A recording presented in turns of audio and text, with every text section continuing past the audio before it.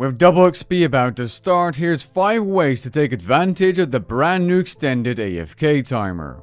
Whenever you're ready, grab your cup of tea, sit back, relax, and enjoy.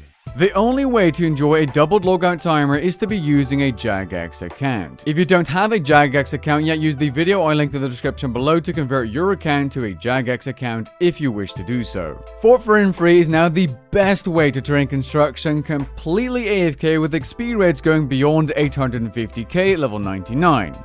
Yes, those rates don't even consider double XP, so it could be double that if not more with XP boost. In case you didn't know, you can reinforce, aka rebuild your buildings as often as you want for consistent AFK construction experience. Buildings can easily take over 10 minutes to build while AFKing, meaning you won't have to worry about being inefficient when you go to make yourself a nice cup of tea. High XP and AFKness do come at a cost though, as each building will set you back a considerable amount of money in wooden frames. Mining might just be the most AFKable skill in RuneScape as you can essentially mine forever if it wasn't for the mere 10 minute logout timer. As you might know, mining features a stamina mechanic, meaning AFKing does significantly lower your experience per hour on normal rocks.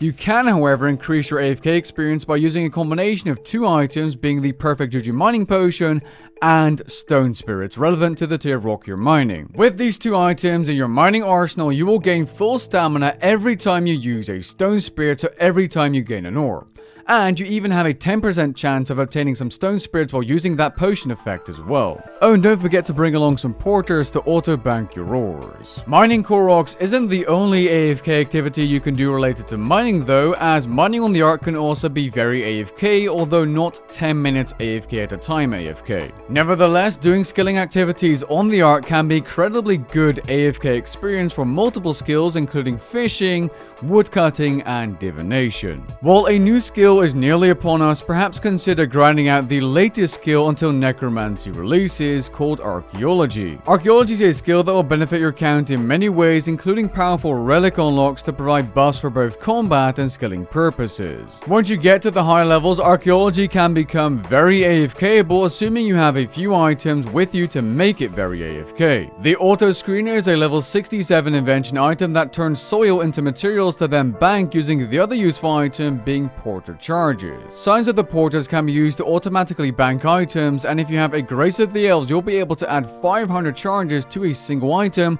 allowing you to AFK away. Alternatively, you can use items like Dwarfweed Incense Sticks or the Premier Artifact to get a similar effect. It's worth noting that if you use the Premier Artifact in combination with Porter charges, you'll simply be using less charges per hour. At the higher levels, if you're completely AFKing, and even if you're using a Cosmic Accumulator, you'll be able to AFK for more than 5 minutes until you're interrupted by an artifact being dug up. Smithing can be incredibly AFK by right-clicking any anvil, opening the smithing interface, and then beginning multiple unfinished smithing projects.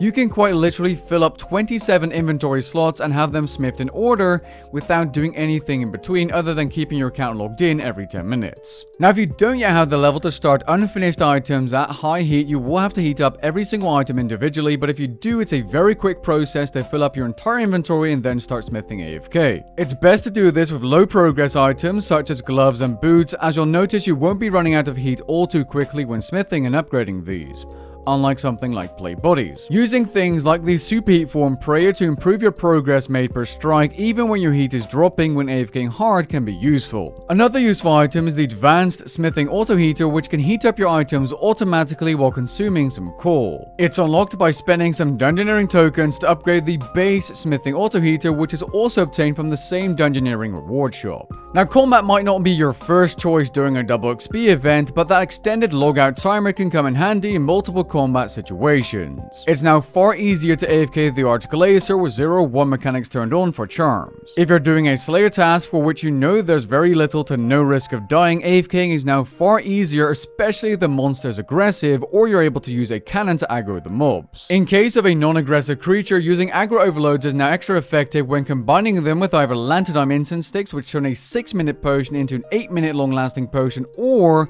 using a potion reservoir. Potion reservoirs which require require 112 invention to create automatically drink your potions for you just before they run out, making AFK combat incredibly laid back. As a bonus mention, we have the Dream of Iaia, an area unlocked after the Sins of the Father mini quest and the Extinction quest. This area is a solid of AFKing in multiple skills including Herblore, Fishing, Fletching, Hunter, Construction, and Crafting at an experience rate of 380k an hour, starting from level 75. The only reason this is a bonus mention is because the amount of XP you can gain per month is bottlenecked by your Anachronia base camp workers and resources as you use resources to recharge these skilling stations. But nevertheless, it's incredibly AFK and absolutely worth a mention. Now there are some more unethical ways of using your extended lobby timer, but I think I'll leave those to the imagination. Good luck on your double experience grind.